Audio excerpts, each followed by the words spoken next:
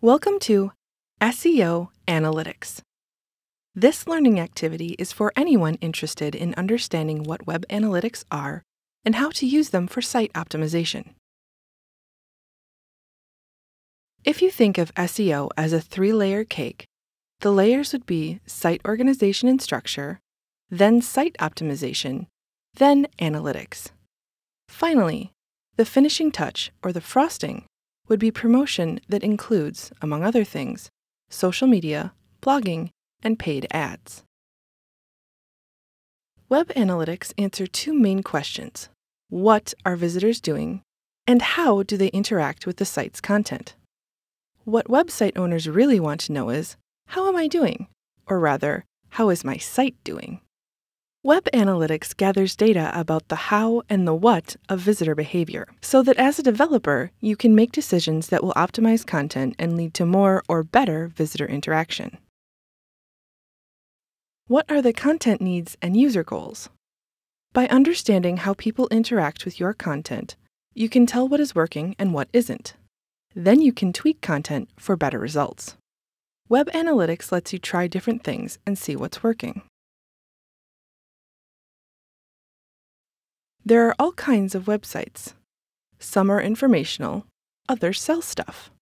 But they all have a purpose or a goal. An informational site might have a goal of attracting a certain number of visitors, while a different site, like mousetraps.com, might want to sell more goods, like mousetraps or services.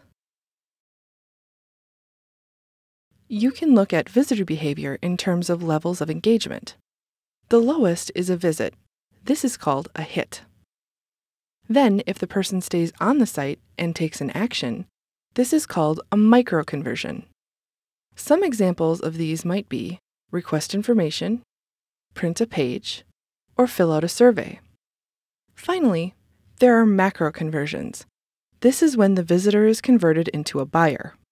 This can happen in one step or may be the result of a series of micro conversions.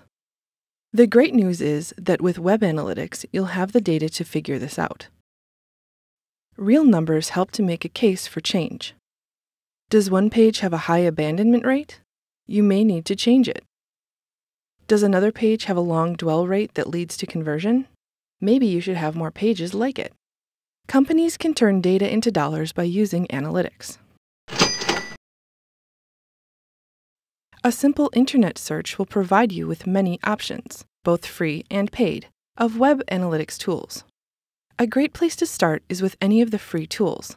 These tools will help you to see if you are on track to reach your site's and your company's goals.